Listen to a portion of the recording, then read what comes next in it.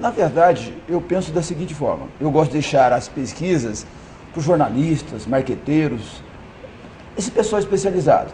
Se você lembrar, em 2014, houve pesquisa para deputados federais.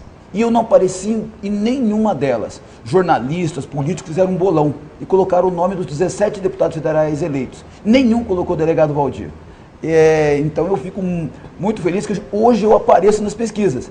E algo que me chama muita, muita atenção é que há poucos dias nós tivemos uma fraude gigantesca na Saneago. Se nós tivemos a Lava Jato com a Petrobras em Brasília, nós tivemos aqui em Goiás a Saneago, uma mega operação. Eu li os detalhes da denúncia. E o candidato do governador subiu nas pesquisas. Eu não acredito que o eleitor, neste momento que nos assiste, vai votar em partidos que, um caso muito recente de corrupção muito forte. Então, é, eu deixo os resultados né, para o dia 2 de outubro e aí nós vamos ver qual que é a real pesquisa.